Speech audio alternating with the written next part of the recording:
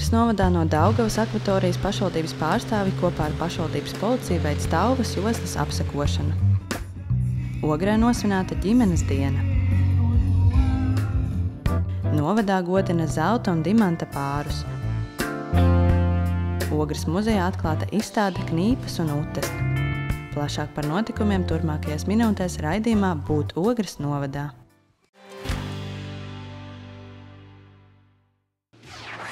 Ogres novadā Tauvas josla vasarā tiek apsakota jau vairākus gadus. Likums paredz, ka Tauvas joslu gar ūdeņu krastu bez maksas un iepriekšējas saskaņošanas ar zemes īpašnieku drīkst izmantot kājām gājēji. Tomēr privātmā īpašniekām vēlme veikt apbūvu pēc iespējas tuvāk upes krastam joprojām ir liela. Kā norāda Ogres noda pašvaldībā, īpaši neapmierinātību izteikuši vietēji iedzīvotāji, kuri nevar brīvi piekļūt Daugavai, jo privātmājas ir tik tuvu, ka Tauvas josla iet pat cauri mājas pagalmu sanāk reizēm, kad tev jāiet caur, nu, caur īpašnieku dobēm, vai arī tas, kad nu, atpūtas vietas izveidot šajā tauvas vielslā, un tad sanāk, kad, kā iepriekš arī runāja, kad sanāk iet caur viņu, kā saka, āra virtuvi vai, vai atpūtas e, telpu, kuru, nu, protams, ir kā saka, nu, cilvēkiem, svešiem, nu, diskomforts. Pie mums ir griežies daudz lielvārds iedzīvotāji, kuri mm, ir sūdzējušies to, ka nevar pieiet pie ūdens, ka tavus josla ir apbūvēta. Likums paredz tavus joslu neapbūvēt, nebūvēt žogus. Un um, Daugavai jābūt brīvi pieejamai. Ogres noda pašvaldība jau vairāk kārt ir aktualizējusi jautājumu par tauvas joslas noteikumu ievērošanu. Iedzīvotāji, kuriem nekustamie īpašumi atrodas publisko ūdeņu tuvumā, tika aicināti izvērtēt, vai īpašumā ir veikta tauvas joslas apbūve. Tādā veidā būvvalde ierauga šīs problēmas, kādas radušās, par to, ko iedzīvotāji ir sūdzējušies, un var vērst uh, uzmanību iedzīvotājiem, kas nav ievērojuši likumu. Ogres pašvaldībā norāda, ka līdz šim konstatētos tauvas joslu pārkāpumus privātmāju īpašnieki gan nesteidzot novērst. Tāpēc reidi tiek rīkoti atkārtoti. Šonadēļ kopā ar pašvaldības policiju būvvalde apsekoja Daugavas akvatoriju Lielvārdē. Konstatēta arī jauni apbūves gadījumi tauvas joslā. Šobrīd esam konstatējuši žogu atrašanos, dažu īpašumu, dažu, pie dažiem īpašumiem žogu atrašanos Tausoslā. Nepieciešams izvērtēt pēc topogrāfiskās informācijas un pēc būvvaldē izsojušās dokumentācijas, kāda ir situācija, vai žogi nav skaņoti vēsturiski. Līdz ar to tad šobrīd piefiksējam, konstatējam tos apstākļus un tad izvērtēsim, vadoties no kartēm un no būvvaldes arhīvu lietām. Klātienē gan neviena no likuma pārkāpējām pašvaldības pārstāvja nesastapa. Attiecīgi par konstatētiem pārkāpumiem tiks sūtīti paziņojumi. Uzsāksim komunikāciju ar nekustamā īpašuma īpašnieku, lūksim demontēt nožogojumus, var atbrīvot tavus joslu pilnā platumā. Un tajā gadījumā, ja nerīkosies īpašnieks, tad pašvaldībai ir jāpieņem lēmums demontēt pašai attiecīgi līdzekļus, iztērētos finanšu līdzekļus, piedzinot no nekustamā īpašuma īpašnieka. Tomēr, kā norāda būvvaldē, ne visos gadījumos iedzīvotāji nesadarbojas. Dājā izvadītajā gadā konstatēto pārkāpumi ir novērsti. Konstatēja, ka no pagājušā gada jā, situācija ir uzlabojušies atsevišķās vietās, bet nu, tie, kas uh, nav uzlabojušies, tie noteikti būs šobrīd pirmajā kārtā, ko ķersimies klāt. Ogres novada pašvaldība vasaras mēnešos plāno veikt Tauvas joslas apsekošanu arī citās novada pilsētās. Novada teritorijā ir vairāk nekā 20 upju, kuru garums pārsniedz 10 km. Savukārt Daugavas garums ir vairāk nekā 50 km, un Ogres upe pārsniedz 100 km.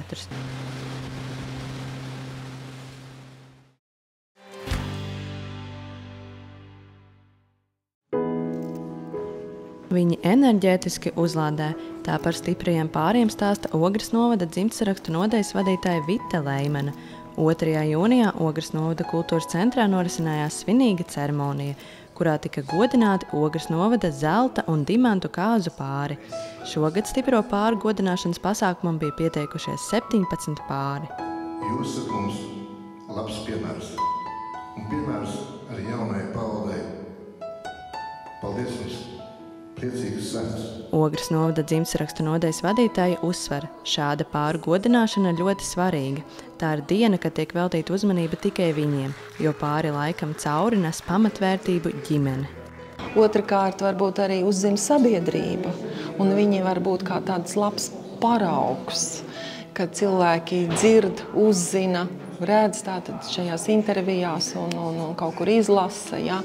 Un, un, un tātad tas ir tas, ir, tas, domāju, tas, ir, tas, ir tas patīkamais. Un mums, protams, ir jāuzkrāj tās labās, pozitīvās lietas, mm, kuras, kuras mums ir apkārt. Svētku reizē svinot mīlestības svētkus, dalībnieki ir atminis to pirmo īpašo dienu. Bijām aktīvi pašdarbnieki, mūzikanti, teātris spēlējām. Un es arī uz skatuves viņu bildināju. Nobļāvos pa visu zāli. Vai tu nāksi pie manis par sievu? Eh, liels joku plēsējs. Es ākstīdamies nobļāvos un sanāca par nopietnam.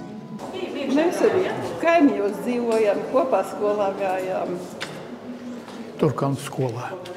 Nu, iepazināmies, mēs interesanti gājām uz eh, kādu ballīti, katrs ar savām otrām pusītēm. Nu, tad, nu, tad izrādījās, ka mums tādas kopīgas intereses atradās, un tad mēs tā sarakstījāmies. Tas mēs jau tā kā apmēram sarakstījāmies, ga- gadu sarakstījāmies. Nu, tad, nu, tad tā sanāca, nu labi. Uzaicinātajiem pāriem kopdzīvē aizvadīta 50 un vairāk gadu. Recepte, kā saglabāt un nolot mīlestību un laulību tik ilgus gadus, katram ir citādāka. Recepte ir ļoti vienkārša. Arī pats kā muzikants, es esmu spēlējis varbūt kādās 500 kārtās. Es visiem dodu pamodu, padomu. Neticiet to, ko jums tur saka. Nu, saticība, mīlestība no pirmā soļa līdz pēdējiem. Nekas no tā nebūs. Saplēsīsieties. Pat varbūt tie tajā pašā dienā. Bet kas notur kopā? Ne tās ir stipras ģimenes, kur neplēšas, bet tās, kur māca burvīgi salakt pēc visām prasību strīdiem. Jā, un jāprot piedot ir. Es neko tādu neesmu izdarījis, ka te būtu man jāpiedod. Jā. Nu, bērni jau pieturēja. Nu, kā tad? Jo? Tā. Jāsaprot vienam otru, jāpiecieš arī. Jā. Un nepakļauties tā savām iegribām. Vairāk domāt arī par otru, ne tikai par sevi. Mums ir ļoti, ļoti daudz kā kopēji. Ļoti daudz. Es pat sākumā nedomāju, ka tā ir. Bet, bet tagad to ar katru gadu var redzēt un sajust, ka un mēs varam daudz runāt, bet mēs varam arī apklusēt. Un, un arī nekādu vairu. Laimes pamats tiešām. Lai varam, lai ir par ko aprunāties, un lai ir par ko paklusēt. Vita Leimane atklāja, ka viņai kā dzimtsrakstu nodeļas vadītājai vienmēr ir jāmeklē vārdi, ko teikt jaunajiem pāriem kāzu dienā. Viņa atzīst, ka reizēm ir grūti izdomāt ko jaunu, taču šis pasākums iedod jaunas iedvesmas. Viņi ar savu, mm, savu pozitīvismu, ar savu mirdzumu acīs, ar to, to, to smaidu sejā, viņi tiešām, tiešām mūsu dzimšanas darbinieks pilnīgi tā kā, tā kā enerģētiski uzlādē. Kad atkal kādu laiku, tieši es to izjūtu pagājušā gada jūnijā, es tiešām bija, bija tāda pilnīgi tāda ierosme, man liekas, ka ai, ir man atkal ko runāt, jo es redzu reāli dabā šos pārus. Šodien bērni prasa, kad būs galds, uz kuru kafejnīcu iesim. Nu, laikam jau iesim, nekas jau cits neatliek. Tradīcija sveikt stipros pārus novadā ir jau kopš 2017. gada.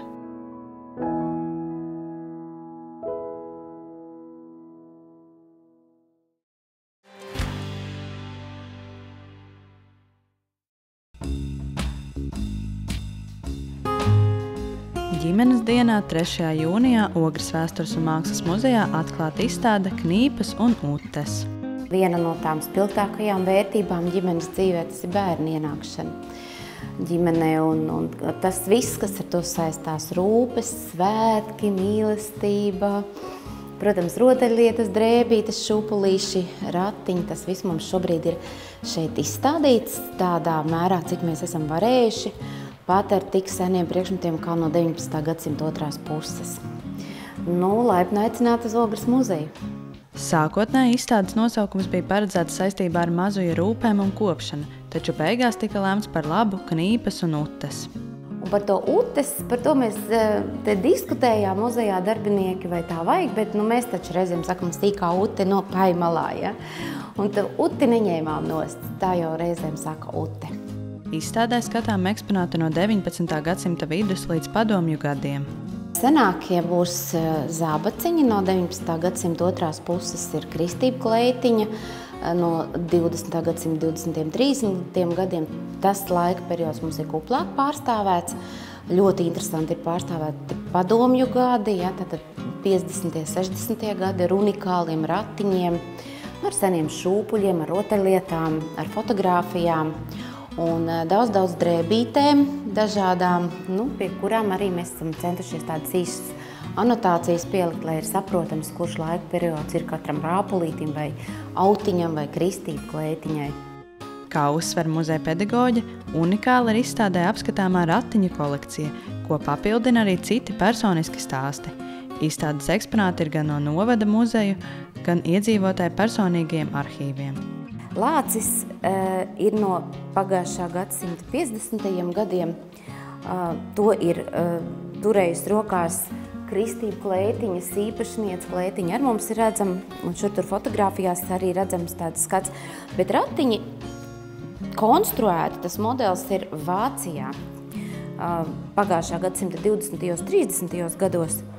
Un šeit toreiz Latvijā bija padomu savienības laiki, Un, un eh, šī, šī, šo ratu modeli nošpikoja, var teikt, Padomju Savienības konstruktori un uz, uztaisīja tādu kā kopiju, ja tā var teikt. Ja tas ir tāds nošpikots modelis no Vācijas. Nu, tā ļoti interesanti. Viņu sauc par kapsulas veida ratiem. Ja? Tātad bērni te varēja patiesībā tikai sēdināt, guldināt nevarēja. Bet nu, mēs varam tikai iedomāties, kā tas izskatījās. Mums ir arī fotogrāfijas ar to laiku bērniņiem, kas sēž tādos ratos. Nu, šobrīd mums te sēž lācis. Izstāde Ogres vēstures un mākslas muzejā skatām līdz 1. septembrim. Te būs stāsts ne tikai par rotaļlietu vai par drēbītēm, bet te būs pārstāvētas visas tās jomas. Ja, var redzēt, ar kādu mīlestību ir izšūtas drānas, ja, kristību klētiņas krūzdūrienā un, un ar tekstiem. Var redzēt, kā klāja šūpulītīs sēdziņas. Var redzēt, kā aprūpēja ar, ar, ar tā, tieši tā praktiskā rūpe apmazgāt un, un, un satīt bērniņu. Ar to, ka tas, tas nav vienas dienas pasākums bērnu aizvest uz kristībām vai izņemt no dzemdību nodaļas, ja, bet tas ir tāds ilgāks posms. Nu, bet runa gan ir par maziem bērniem, par, maz, par mazajiem, ja, nu, par studentiem nē.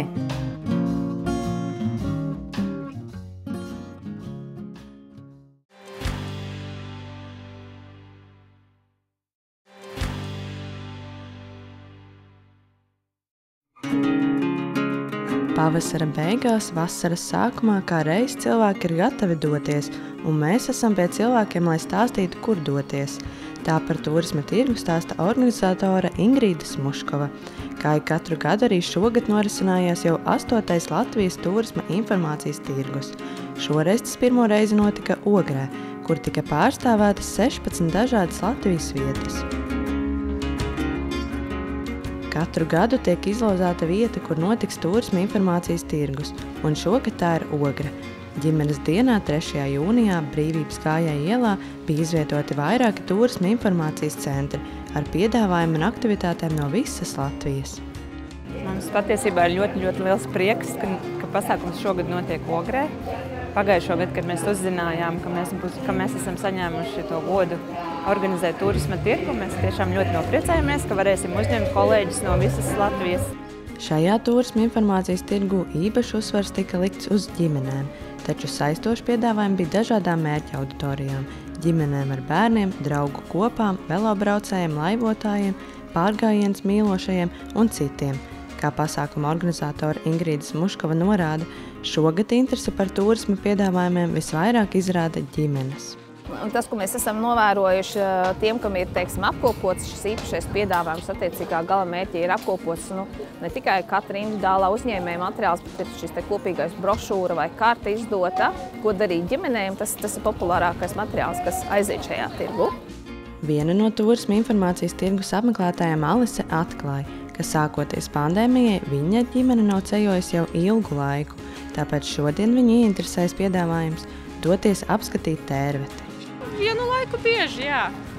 Bet tagad pandēmijas laikā nekur nav daudz ceļots. Tagad gribas uzzināt, kas jaunu. Man liekas, tāpēc arī visi ir sagatavojušies jaunam turismu plūsmai. It kā ir dzirdētas visas tās vietas un tie turisma galamērķi. Bet uh, tagad iesim pārbaudīt, kas ir jauns. Arī Baiva Misiņa no Valmieras novada turisma pārvaldes atzīst, ka ir ļoti svarīgi piedāvāt dažādas vietas un turisma galamērķus tieši ģimenēm. Nu, ģimenes ir, nu, protams, ka ģimene grib kopā pavadīt laiku, un man liekas, ka viņiem ir svarīgi ceļot, un tas ir tāds liederīgs kopā laiks. Un, un ja viņiem tiek piedāvāts dažādas iespējas, ko redzēt un darīt, kāpēc ne? Tas ir ļoti nozīmīgi. Izveidina galvu un ir bērniem ir interesanti jauni iespaidu, pēc tam viņi pēc pusgada vai gada atcerās un atstāsta. Man liekas, tas ir izzinojuši. izzinojoši. Savukārt turisma informācijas tirgus apmeklētājus Juriju un Kristīnu vairāk interesē pārgājieni. Tā, nu reizi gadā varbūt kaut kur ārpus Latvijas izceļojam, bet pateikt Latvijas pārgājienu takas izzināt dabu, mežus. Gulbenes novada turisma pārstāve atzīst, ka Covid laiks ir veicinājis cilvēkus vairāk ceļot tieši pa Latviju, taču pamazām jau sāk manīt arī ārzemju turistus. Tā kā Gulbena atrodas tuvu Igaunijai, bieži to apceļo valsts kaimiņi - Igauni. Es pat teiktu, ka Covid laiks tieši ienesa tādu jaunu tradīciju ceļot pa savu dzimto Latviju, pa savu dzimto novadu un ārpus. Protams, arī ļoti gaidām ārzemju turistus, kas savukārt Covid situācija to gan ir ietekmējusi, bet nu jau, nu jau ārzemju turisti jau atgriežas Latvijā un arī Gulbenes novadā. Savukārt Ogres novada turisma pārstāve atklāja, ka šobrīd cilvēki iespējams ir nedaudz pieklusuši ceļot pa Latviju, taču Ogrē turistu skaits nemainīgi pieauga. Protams, Covid laiks bija tāds laiks, kad uh, Latvijas iedzīvotāji ceļoja pa Latviju daudz aktīvāk. Tagad varbūt tā plūsma ir mazliet samazinājusies, bet tāpat joprojām apmeklētāji ir un ciemiņi no visām Latvijas vietām apciemo Ogres novadu. Um, mūsu turisma statistika auga ar katru gadu. Turisma informācijas tirgu organizē Latvijas Turisma informācijas organizācija asociācija Latvijas Info sadarbībā ar vietējo turisma informācijas centru. Pasākuma organizatoru godu un pienākumu ogrēnieši ieguva 2022. gadā.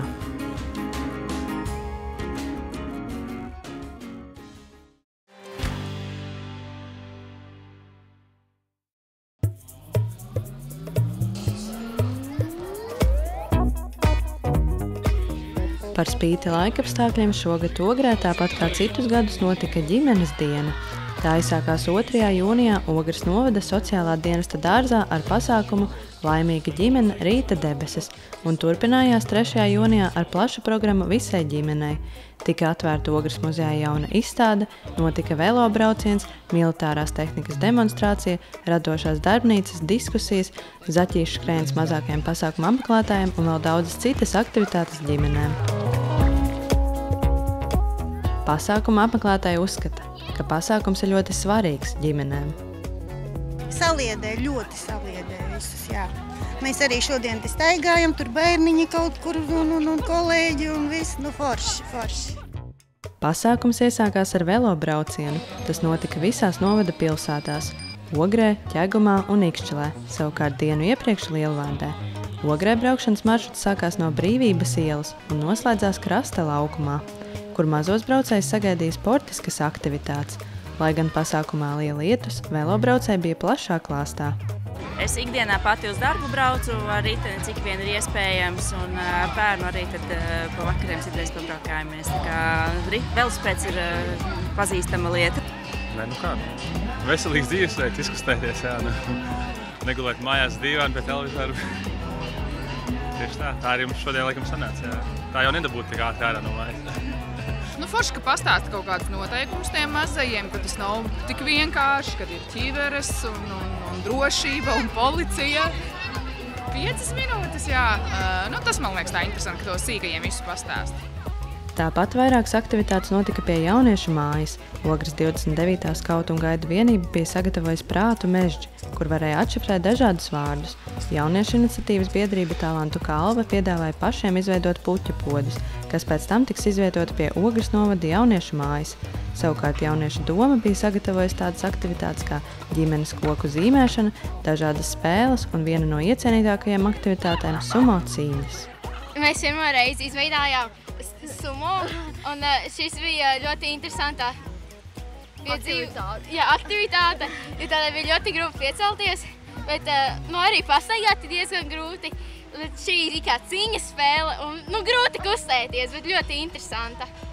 Vienas no pasākuma organizatoriem bija arī jaunietis, kas pasākumu rīko pirmo reizi. Viņas aicināja no 1. līdz 3. klases skolniekus piedalīties zaķīšu skrējienā, kas bija aptuveni 400 metrus garš. Bērni sākumā tika iepazīstināti ar veselīgu uzturu, un pēc skrējiena tika pārbaudīts to zināšanas Viktorīnā, kur atbildot pareizi uz jautājumiem, balvā varēja saņemt veselīgus našķus. Nu, sākumā man tas pilnīgi godīgi radās kā joks, kā nu, ne, nenopietna ideja. Un tad uh, es vienkārši vēlējos nedaudz lauzt tos stereotipus, ka parasti, kad notiek maratoni, bērni dabū kaut ko neveselīgu, kaut neveselīgu pārtiku. Un es domāju, kā būtu, ja mēs bērnus izglītotu par tieši veselīgo un arī viņiem sniegt šo veselīgo kā, kā to uzvaru. Kā beigās arī uzvaru būt arī kaut kas, kaut kas labs arī pašam ķermenim. Tad tas tā arī aizgāja kaut kā. Tāpat bērnus piesaistīja armijnieki, kas demonstrēja militāro tehniku, ieročus un ekipējumu. Bērniem izteikti bērniem ļoti interesē nu, pieaugušiem vīriešiem, protams, senākiem cilvēkiem, kas atcerās kaut ko no tā laika. Un, jā, interesi ir. Pa mūsu lietu interesē visas tās granātas, artilērija, munīcija. Tas viņam interesē. Ne tik daudz kā ekipējums, bet tieši redzēt, dzīvajā pataustīt, pacelāt tos priekšmetus, ko labāk reāli dzīvē neaiztikt. Pasākuma apmeklētājs priecē vēl daudzas citas aktivitātes. Dienas beigās notika grupas Sadenlaits koncerts.